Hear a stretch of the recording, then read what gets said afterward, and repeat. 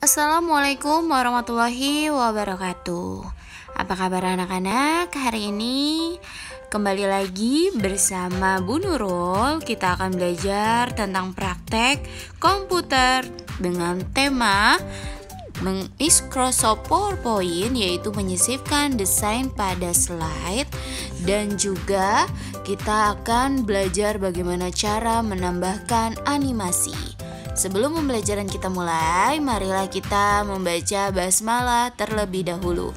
Bismillahirrahmanirrahim.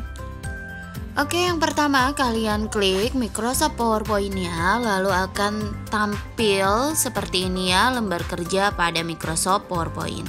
Lalu kalian klik di New Slide ya di menu Home, terus kalian pilih uh, new slide atau di layoutnya kalian bebas pilih yang mana saja. Tapi Bu Nurul di sini menggunakan title slide ya, karena buat judul dan nama kita pilih title slide.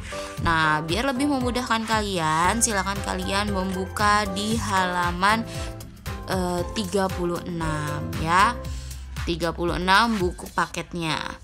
Nah, ketika sudah e, memilih title slide ini, lalu kita klik ya untuk membuat judulnya. Ya, kita membuat di halaman 39 yaitu tentang go green ya. Di sini kita tulis go green. Ya. Terus juga di bawahnya bisa kalian tulis nama kalian ya, hasil kalian sendiri. Ya, bisa kalian karya Tiara karya Davin kelas 5A. Misalnya di bawahnya seperti itu. Di sini ya, setelah itu kita pilih desain. Ya, setelah judulnya bisa kita lihat atau kita ketik, lalu kita pilih desain. Nah, di sini kita klik desainnya macam-macam ya. Eh tampilannya atau pilihannya.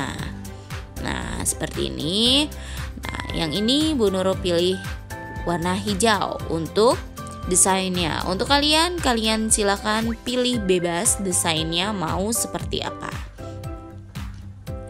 Nah, setelah itu kita akan belajar bagaimana cara menambahkan animasi ya.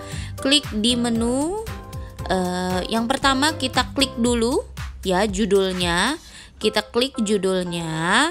Lalu setelah diklik judulnya, kalian pilih menu animation. Nah, di situ ada beberapa uh, macam-macam efek animasinya. Ya. Di situ ada ada appear, fade, macam-macam. Gila kan? Kalian bisa bebas memilihnya. Nah, di sini juga ada beberapa pilihan animasi. Ya.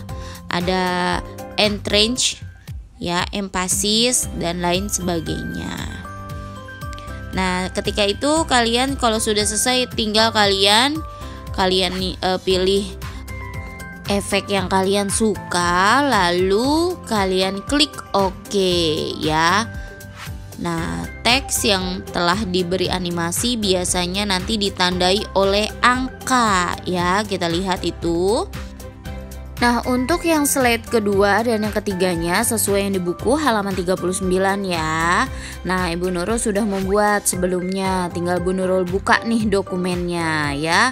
Nah, akan muncul di slide yang kedua dan yang ketiganya. Bisa kalian lihat di halaman 39 yang paling atas, di situ ada slide 1, 2 dan 3. Nanti kalian bisa lihat di situ ya. Nah, pada saat Bu Nurul mau e, menampilkan layar penuh, nah tulisan-tulisannya itu ada efeknya, ada animasinya ya bergerak. Ya, menggunakan slideshow semuanya. Apabila sudah kita save menggunakan save ya, jangan lupa ditulis namanya Jangan lupa save as tipenya PowerPoint Presentation PPTX ya atau yang nggak pakai PPTX juga nggak apa-apa. Setelah kalian uh, ketik semuanya lalu klik save. Nah, ini tadi yang sudah kalian kerjakan.